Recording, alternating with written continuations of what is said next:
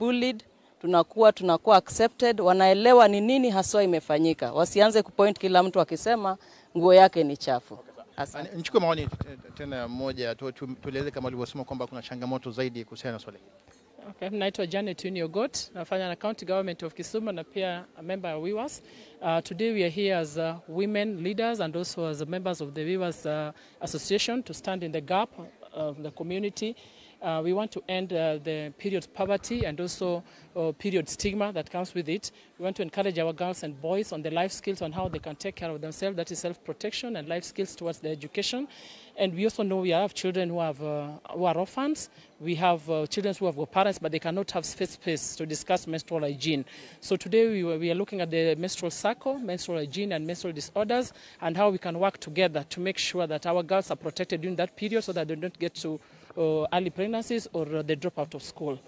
Uh, thank you. Uh, la mwisho nichukue maoni kutoka kwa waziri wa maji kutoka kaunti ya Kisumu. Tuambie majina alafu tuelezee kama ulivyosema ni kwamba uh, kuna changamoto hasa kwa wale wasichana ambao kwamba wako katika maeneo mbalimbali. Kumbuka kwamba kaunti ya Kisumu uh, kuna ma, ma, maeneo bunge kama Muhoroni, Nyakach ambapo pia uh, kuna uhaba vitu kama hivi. Mm. Asante sana kwa majina, naitwa Marilyn Agwa. Mimi ndio waziri katika department ya water, environment and climate change. Uh, what I want to say is that when our girls uh, graduate from being girls to now become women, it is normally a very big challenge for them. And we need to sensitize them and teach them on how to carry themselves during this important transition of becoming women.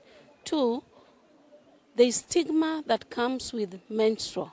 And that stigma, they need us as parents, they need us as opinion leaders and their leaders to help them go through this journey as they transform to that level. And also, we have uh, our their parents who are now the fathers.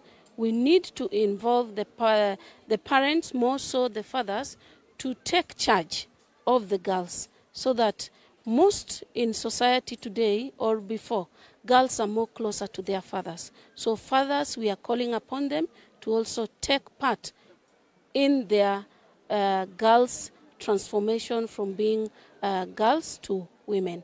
And finally, my call is on all the leaders, especially the women leaders uh, in this region.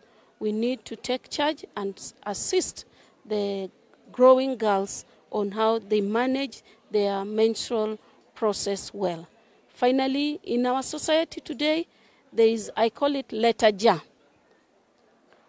There are men who are just out there to use money to give to girls when they are on their periods. For example, Jangware, Japunj, Jaboya, and so many jars in this society, so that they are also brought on board not to take that advantage during